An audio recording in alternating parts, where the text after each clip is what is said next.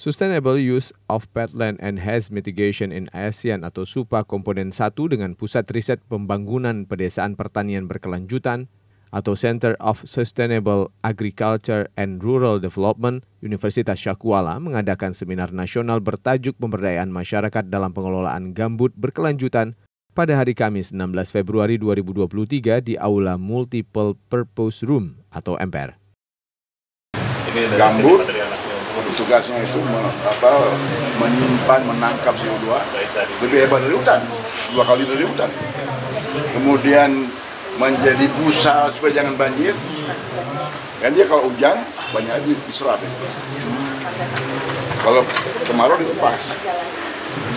Uh, jadi kita uh, inginnya maksudnya isu-isu yang gambut ini ya kita ikut membantu penelitian-penelitian khususnya uh, agar lahan ini tuh tetap dilestarikan.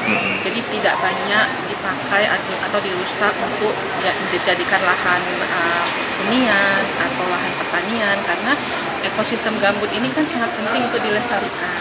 Kegiatan ini dihadiri lebih dari 500 peserta, di mana 100 peserta hadir secara offline atau luring dan 430 peserta hadir secara offline atau daring.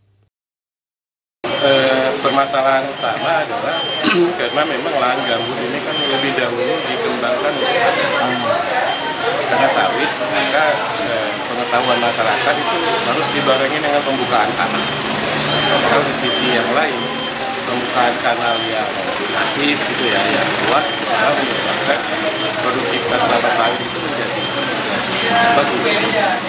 Yang menjadi persoalan kita di Aceh itu ada 244 ribu hektar yang gambut itu berada di APL.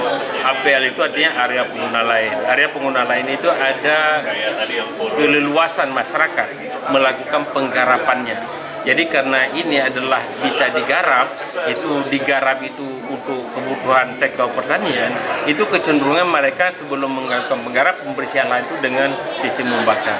Inilah salah satu persoalan kita. Satu sisi ini dibenarkan untuk dilakukan budidaya karena berada di APL, di sisi lain masyarakat membersihkan lahan itu dengan pola membakar.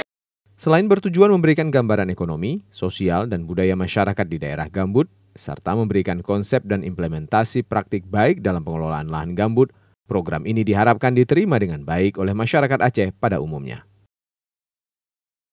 Tim Liputan Kompas TV, Banda Aceh.